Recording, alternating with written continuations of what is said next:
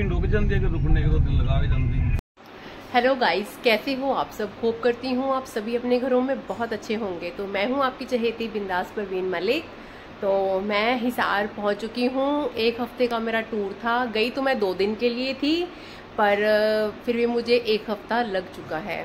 तो जितना भी खर्चा आया है, वो भी आपके साथ शेयर करूँगी और मैं कहाँ कहाँ गई वो भी मैं आपको शेयर करूँगी। तो अब मैं जा रही हूँ मार्केट कुछ काम करने के लिए। आ, कुछ खट्टे मीठे एहसास भी रहे इस ट्रिप में। आ, कुछ रिश्तों की दूरियाँ थी वो भी आ, सोच समझ कर मतलब उनको भी ठीक करना पड़ा। तो कुछ टाइम से मम्मी के साथ कोई प्रॉब्लम चल रही थी तो थोड़ा दिक्कत थी तो मम्मी को लेकर भी परेशान थे हम। तो पानीपत पहुँचे, जब चाची के घर पहुँचे, सुनीता, मैं घूम, मैं, हम तो घूमते फिरते वैसे ही पहुँच गए।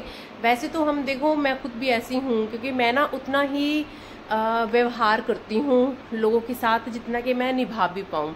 ऐसा तो नहीं हो सकता ना भी तुम दोस्ती कर लेते हो, दोस्ती तुम्हें सहेलियाँ बुलाएँगी तो तुम भी ना जाओ तो फिर वो चीज़ें ठीक नहीं रहती हैं। तो मेरा सिर्फ़ बहनों तक ही उठना बैठना है।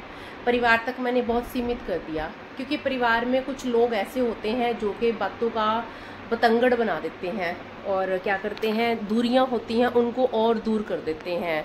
तो कुछ टाइम से फैमिली में प्रॉब्लम चल रही थी बट भगवान की कृपा है कि सब ठीक हो चुका है अब। तो जैसे ही हम बिछपड़ी गाँव में गए और फिर एक चाची और थी, वहीं पर फतेहपुरी चौक पे रहते हैं पानीपत में तो उनको भी मिलने गई मैं, उनको भी मिली। इस बार मोनिका बोली कि भी सबको मिलके जाना है। तो चाचियों को मिले हैं, अभी तो बहुत रिश्ते हैं, बहुत बड़ा परिवार पानीपत के अंदर रहता है तो जैसे धीरे धीरे धीरे सबके, और दूसरा गर्मी, रीज़न था गर्मी का। और भी जाते घूमने, पर गर्मी के रीज़न से हम नहीं हो पाए हैं, मिल पाए हैं सबसे। तो जैसे ही सो चाची के घर आए तो पता चला कि मम्मी ने ऑपरेशन करवाया है आँखों का। और हमने मम्मी को बोला था कि जब भी ऑपरेशन करवाओगे तो हमें बता देना तो हम जो है आ जाएँगे मतलब। तो मम्मी ने सोचा कि भी आँखों में ज़्यादा दिक्कत हो गई थी तो कह रहे थे कि डॉक्टर्स ने जवाब दे दिया। तो फिर, चलो, भगवान की कृपा है कि सब कुछ ठीक हो गया है ऑपरेशन भी ठीक ठाक हो गया है। तो पसीना नहीं आना चाहिए आँखों में। तो मम्मी को फिर भाई ने जैसे एसी तो पूरे घर में ही लगे हुए हैं तो ब्रदर ने भी अभी नया घर बनाया है। बहुत बढ़िया घर बनाया है। बहुत अच्छी कॉलोनी में लिया है। तो मैं नाम तो भूल गई उस कॉलोनी का। बहुत बढ़िया जो पानीपत की सबसे बड़ी कॉलोनी है ना, जो सबसे महँगी जहाँ पर जगह है। पता नहीं क्या नाम था, मैं नाम भी आपको सोच के बता दूँगी। वहाँ पर ब्रदर ने जो है घर लिया है, नया बनाया है। प्लॉट लिया था तो फिर उस पर ऊपर अच्छे से मतलब काफ़ी पैसा लगाया है। नियर अबाउट चार से पाँच करोड़ रुपए लगाए हैं। तो मैं तो घर तो नहीं कहूँगी, महल भी नहीं बोलूँगी, मैं तो बोलूँगी राजमहल है। क्योंकि इतना बढ़िया डेकोरेट किया हुआ है ब्रदर ने मतलब देखते ही बनता है। मतलब मेरा मन भी नहीं था आने का। तो पहले मैं मोनिका के घर रह रही थी अब इन दिनों तो। तो क्योंकि किसी बात को लेकर कुछ प्रॉब्लम थी तो बस फिर कोई बात नहीं, बहन भाइयों में सब चलता रहता है धीरे धीरे सब सॉर्ट आउट हो जाता है। बस किसी समझदार इंसान की ज़रूरत होती है। अब कई परिवार वाले तो होते हैं, तुम ये कर लो, मोनिका, सुनीता, परवीन, तुम ये कर लो, तुम ये कर लो, तुम ये कर लो। तो मतलब लोग बात को, एक बात अगर बहन भाइयों में अगर छोटी मोटी बात हो भी जाती है तो लोग उसको ना मतलब उन्होंने ऐसा खींच दिया मतलब जैसे कहते हैं ना, आग में घी डालना, उन्होंने ये काम कर दिया था। तो मैं अपनी बहनों को जो है नहीं देख सकती किसी भी तकलीफ़ में। तो मैंने आपको पहले भी बोला था कि भी मेरा दिमाग ख़राब हो जाता है, अगर मेरी सिस्टर्स के साथ कोई कुछ गलत करे तो। और मैं मैं सारे परिवार को देख रही थी, सारे परिवार को। कोई भी हो, मैं नाम नहीं लेना चाहती किसी का, क्योंकि दाद का भी है, नान का भी है, सभी हैं उसके अंदर, बाहर के भी हैं अड़ोस पड़ोस के भी हैं। पहली बात तो मैं अड़ोस पड़ोस में जाती ही नहीं हूँ। और दूसरा, मैं अपना लिमिट में रहती हूँ, मेरे घर पे ना फालतू कोई आ रहा है, ना कोई जाता है, और ना मैं जाती हूँ। मैं सिर्फ़ अपने परिवार को संभालती हूँ, जो मेरा परिवार है चाहे मेरी मासियाँ रहती हैं लोकल, और मेरी ननद रहते हैं लोकल तो मैं अपना मेरा छोटा सा परिवार है। बस मैं इसी तक सीमित रहती हूँ, बस अपना आना जाना इन्हीं में ही होता है। तो बस परमात्मा की कृपा से सब कुछ ठीक हो गया है। फिर भाई को मैंने फ़ोन करा, दीपू संदीप चोपड़ा, पानीपत में सबसे फ़ेमस है। आपने नाम सुना होगा, नहीं सुना है तो आज सुन लो।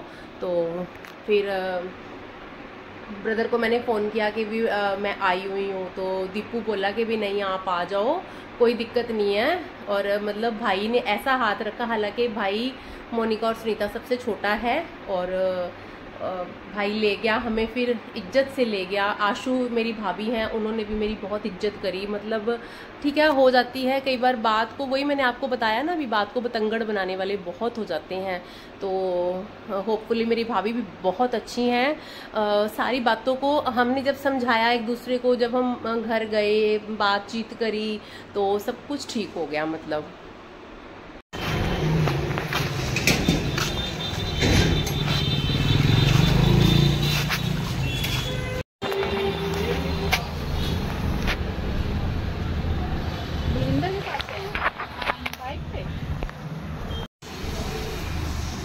हेलो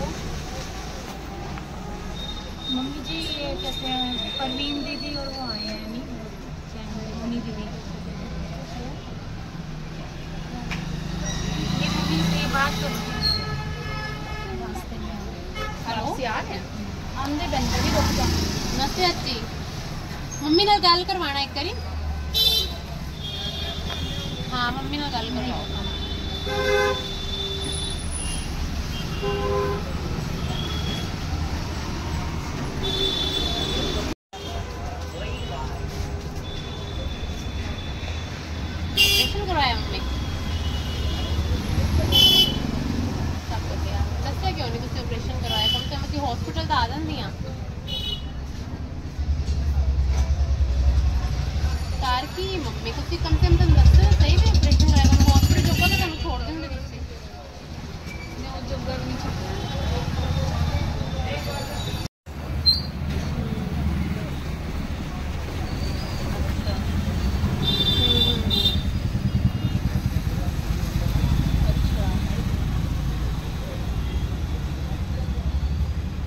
ठीक हो गया ऑपरेशन तो कुछ वक्त ना चाहिए ऑपरेशन करवाने जाने तो मैं हॉस्पिटल का बंदा आ ही जाता है।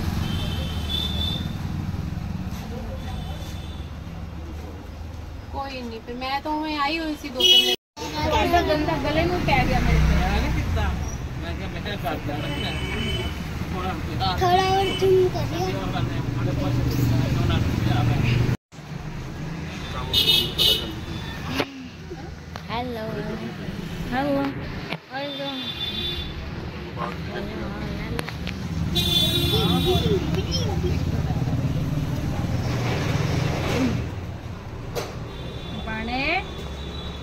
नजीबा ने नुमाया हमको तो देखो लेट हो गए। के बहन ना तो लेट हो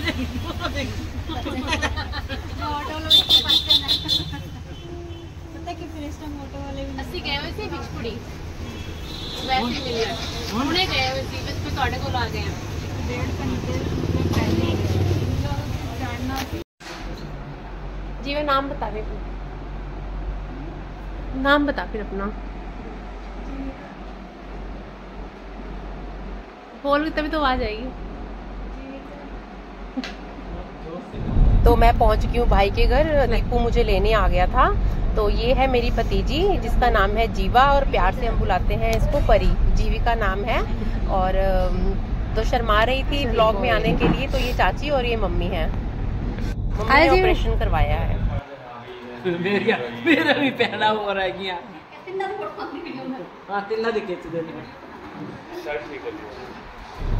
तो मिलने के लिए दीपू भी आ गया दीपू अपना ऑफ़िस छोड़कर मिलने आया अपनी बहनों से